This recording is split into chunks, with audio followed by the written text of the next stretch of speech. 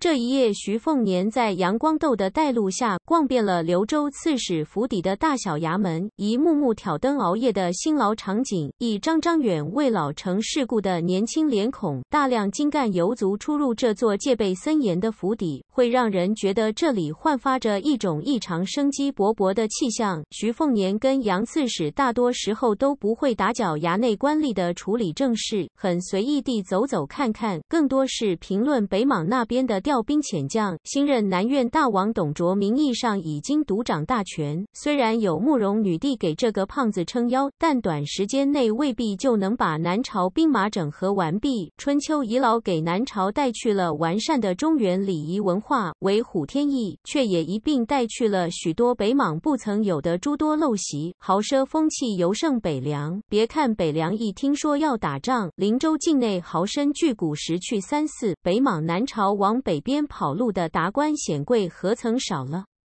趋利避害是人之天性，而且北莽南北对峙的格局根深蒂固，向来尖锐。南朝富人这么折腾，纷纷依附北地的大草原权贵，无形中助长了北庭的气焰，削弱了南朝本就疲软的话事权。董卓这个胖子估计要轻减好几斤肉了。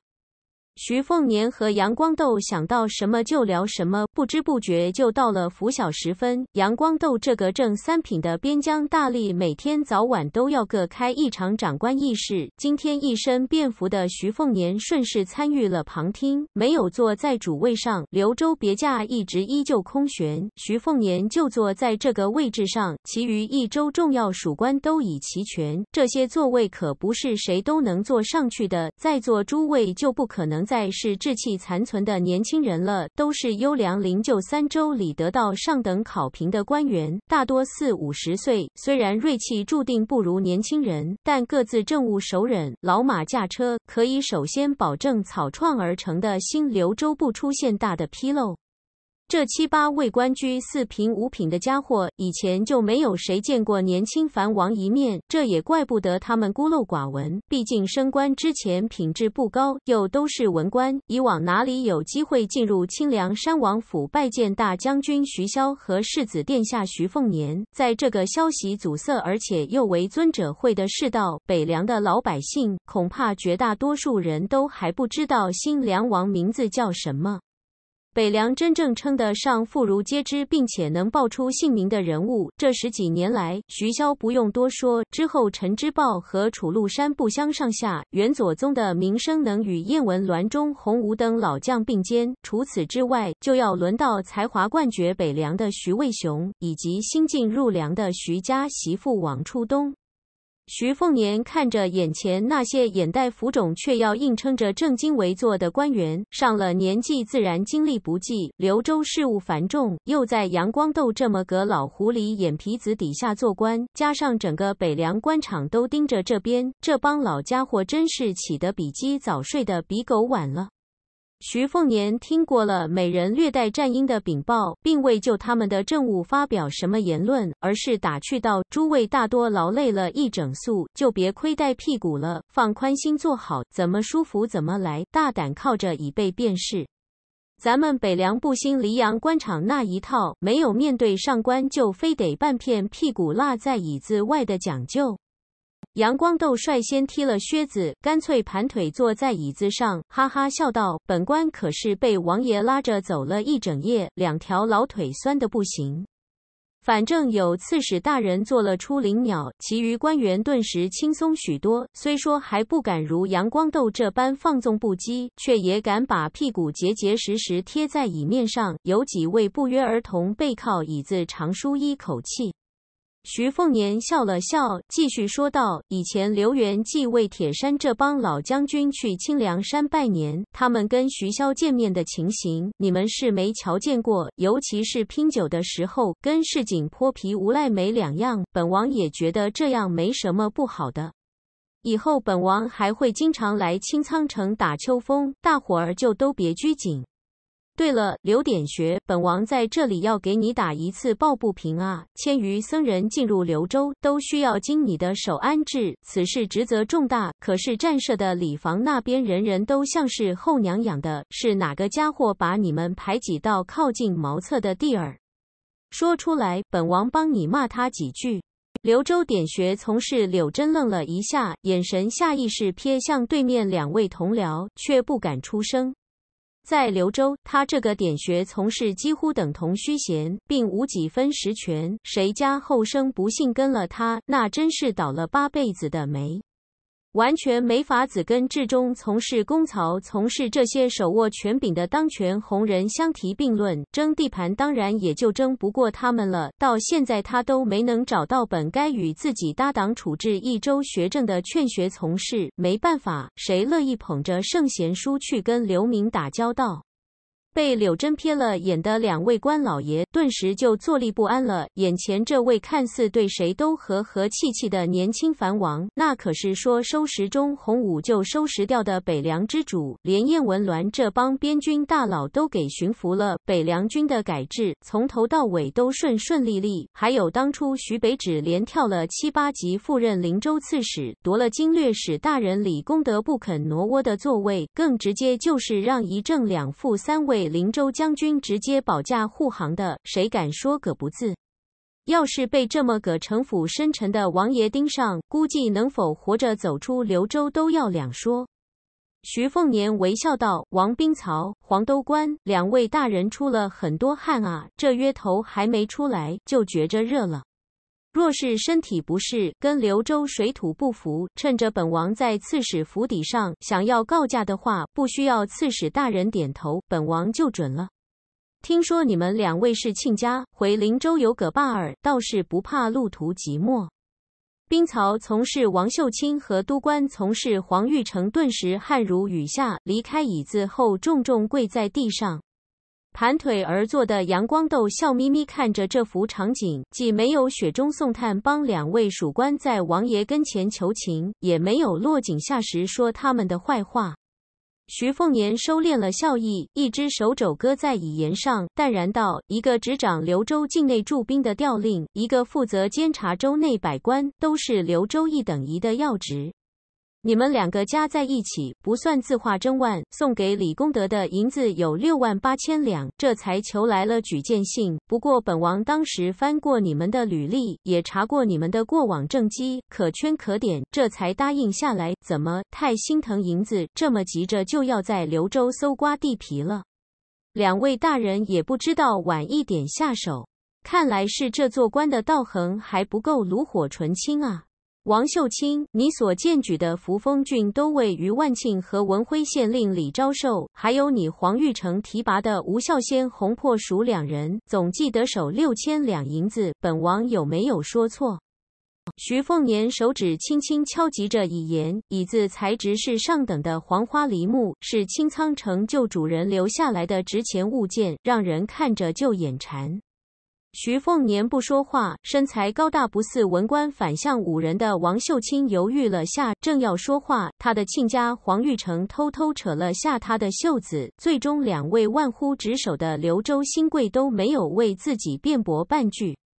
徐凤年看到一名魁梧武将走入院子，按刀站在门外，是刘州清仓军镇校尉韦石辉，与林瑶军镇的领兵校尉一同出自龙象军。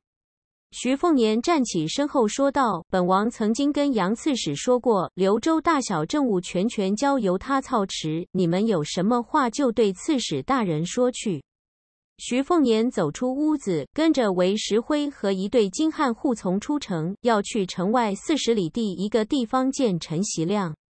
屋内长时间落针可闻，阳光豆咳嗽一声，把双脚放下，踩在那双刚刚从灵州金缕织造局那边送来的官靴上，说道：“王大人、黄大人，都起来吧！法不外乎人情，刘州百废待兴，这么个大烂摊子，本官暂时实在是找不出不耽误北凉大业的可用之才。你们就算是戴罪立功，回头要是做出攻击，本官再帮你们去跟王爷那边说道。”说道：“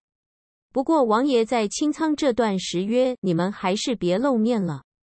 王秀清站起身，脸色沉重。黄玉成摇摇晃晃站起来，擦了擦额头汗水，如丧考妣。哪怕刺史大人给了他们回旋余地，可在王爷心目中落下了糟糕印象，真当是能够将功补过的。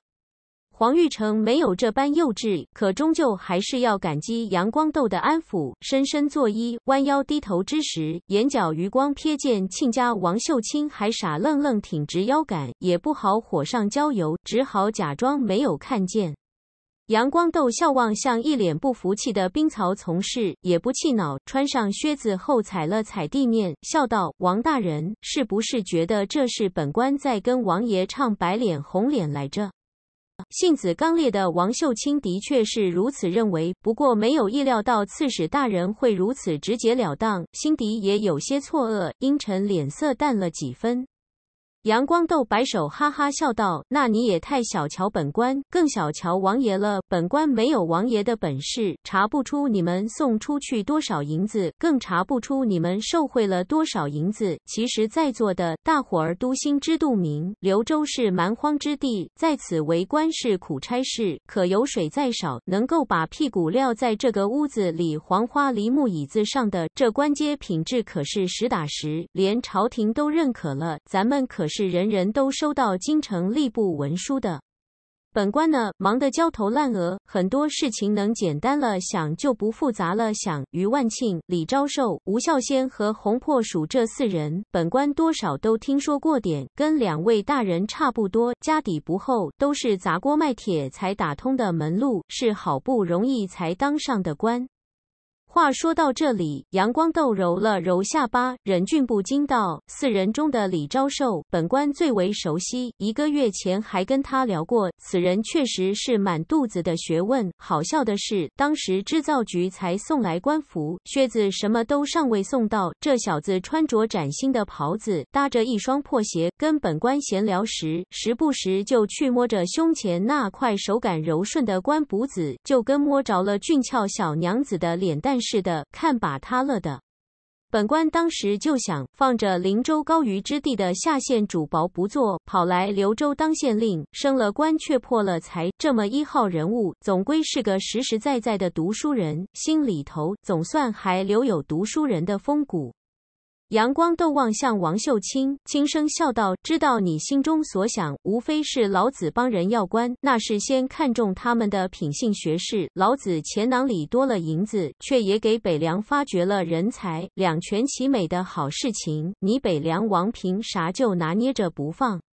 王秀清是不是这么想的？王秀清也实诚硬气，沈声道：“不错。”阳光豆摇头道：“错啦，你也好，甚至本官这个正三品的刘州刺史也罢，做人做事那都是没能逃过不在其位不谋其政的毛病。举个例子，就像本官手头可用之人不多，事事捉襟见肘，你们按律本该被摘掉官帽子，卷铺盖滚回灵州，但还得帮你们擦屁股，这就是我阳光豆只为刘州一州之的考虑得失。”但是如果北凉道上每个兵曹都官都如你们两位大人，不用按着规矩走，久而久之，泥沙俱下，这北凉官场也就彻底乌烟瘴气了。所以说，本官先前所讲的法，不外乎人情，并不全对，人情的讲，但人情这东西讲多了，绝非长远之计。灵州官场的前车之鉴，你们这帮在哪里十几二十年没能出人头地的可怜家伙，肯定比本官更深有体会。你们扪心自问，刘州会不会变成第二个灵州？这会儿马上就要打仗了，咱们这些连摇旗呐喊都不用去做的官老爷们，就不要让王爷这么早就担心这个了。啥时候灭了北莽，在座各位都近水楼台，人人去北莽捞个刺史过过瘾，到时候再贪些银子，本官就不信了，北凉王还会跟咱们斤斤计较。王秀清咧嘴一笑，在座许多官员也都忍不住笑出声。柳真玩笑道：“那咱们这帮老骨头可得多活几年，要不然官帽子再多再大也没咱们的事啊。”杨光斗伸手指着屋内掌管刘州钱粮部书，同时也是最年轻的一个官员秦天霞：“你小子才四十岁出头，你最占便宜，回头寄俸发下来，请咱们搓一顿。”那人挠挠头，苦着脸道：“倒不是下官舍不得这份俸禄，委实是家中有河东狮吼，不将俸禄寄回幽州那边，他肯定要以为下官在柳州采了野花，到时候可少不了往死里一顿拾掇啊！刺史大人，你老行行好，让咱们钟家底子最后的周大人请客，这家伙可瞧不上眼那点儿俸禄。”一个体态肥胖的中年官员破口大骂道：“秦天霞，放你娘的臭屁！昨天还跟我说你偷偷攒下四十几两的花酒钱了。”满堂轰然大笑，其乐融融。徐凤年见到陈习亮的时候，几乎没有认出来，这位原本文弱书生模样的韩氏，肌肤黝黑，瘦了十几斤。